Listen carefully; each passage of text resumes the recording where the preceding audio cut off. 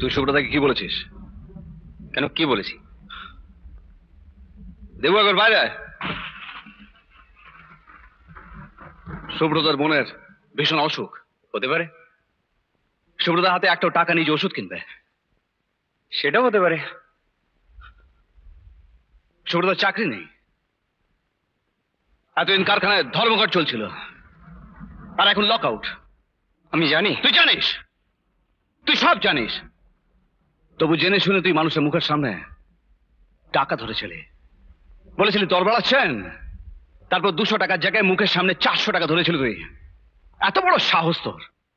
দেবু, তুই কি করে ভুলে গেলি আমি তোদের বড় করে তুলতে পারতাম না। যদি ওই মানুষটা আমার মাথার উপর না থাকতো। আর আজ সেই দেবতা মতো মানুষটাকে তার অবস্থার সুযোগ নিয়ে তুই তুই এইভাবে অপমান করলি?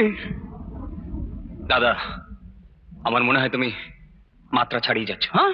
দেবু, কি বলছিস কি? পাগলের মতো কথা বলছিস তুই। দেখো মা একটা কথা আমি তোমাকে পরিষ্কার করে বলে দিচ্ছি। যে সংসারটা দাদা এতদিন পর্যন্ত অন্যের সাহায্য নিয়ে চালিয়ে এসেছে সেই সংসারের দায়িত্ব আমি নিতে পারি? তুই তো আজ সংসার চালাবি রে। যখন তুই বড় হয়ে উঠেছিস আর আমি সেই আট বছর বয়স থেকে এই সংসারটা চাকা ঘুরিয়ে আসছে। ভিক্ষে করে সংসার চালানোর মধ্যে কোনো কৃতিত্ব নেই দাদা। আমি নিজের চেষ্টায় লেখাপড়া শিখে চাকরি করে যে টাকা আনি তা দিয়ে সংসারটা চালাতে পারি? তুমি কাল থেকে ছুটি নাও। দেখো আমি কীভাবে সংসারটা চালাচ্ছি। আজ তুই লেখাপড়া শিখে নিজের পায়ে দাঁড়িয়ে তোর এই দাদাটাকে অপমান করছিস? ছোট করছিস? না দাদা। ছোট করার কিছু নেই। তুমি যা কাজ করেছ ঠিক করেছ। তোমার কাজ করেছ। এবার আমার কাজ আমাকে করতে দাও। আরেকটা কথা এই দাদা তুমি আজ পর্যন্ত আমার জন্য যা যা করেছ তুমি তো জানো আমি অঙ্কে খুব পাকা। তাই তার সমস্ত হিসেব আমার এই ছোট্ট ডায়েরিটাতে লেখা আছে। তুমি আজ পর্যন্ত আমার জন্য যা যা খরচা করেছ এমনকি তার সুদ কত হতে পারে সব সবেতে লেখা আছে। তুমি ভেবো না ওর তোমার প্রাপ্য। আমি তোমাকে সুদ সমেত ফেরত দিয়ে দেবো। ঠাকুরপো! তুই আমার ঋণ শোধ করবি। তোর এই ছোট ডায়েরিটাতে আমার কাছে তোর যত ঋণ সব হিসেব লেখা আছে দেবো। সব।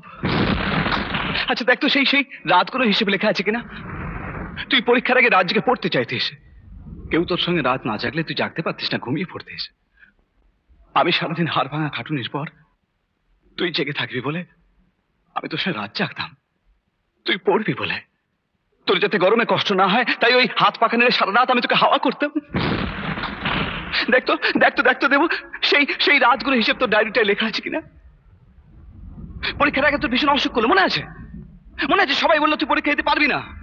আমি বললাম, না, ও পরীক্ষা দেবে। ও যে ফার্স্ট বয় আমি রোজ তোকে কোলে করে নিয়ে গিয়ে স্কুলে ওই পরীক্ষার হলে বসিয়ে দিতাম। ওরা আমায় ভেতর থাকতে দিত না। ওরা আমায় বাইরে বার করে দিত। আমি ঠায় সারাদিন রোদ্দুর ওই স্কুলের বাইরে রাস্তায় দাঁড়িয়ে থাকতাম। তারপর পরীক্ষা শেষ হলে আমি তোকে কোলে করে আবার বাড়ি নিয়ে আসতাম।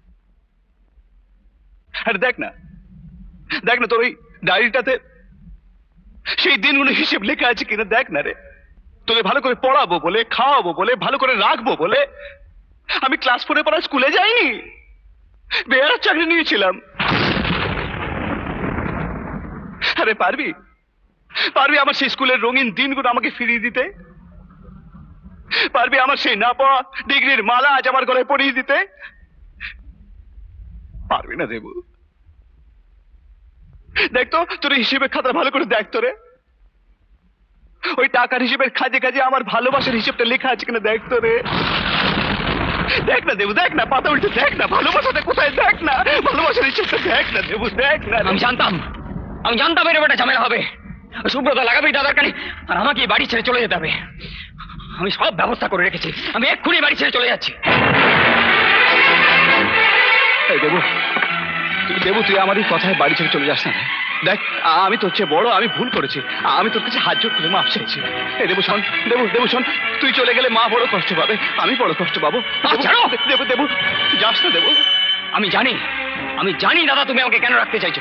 এখন এই অভাবের সংসার ওই বেকার সুব্রতা সংসার এই সমস্ত দায়িত্ব আমাকে নিতে হবে তাই তো? কিন্তু একটা কথা পরিষ্কার জেনে রাখো এই সবের দায়িত্ব আমি নেব না।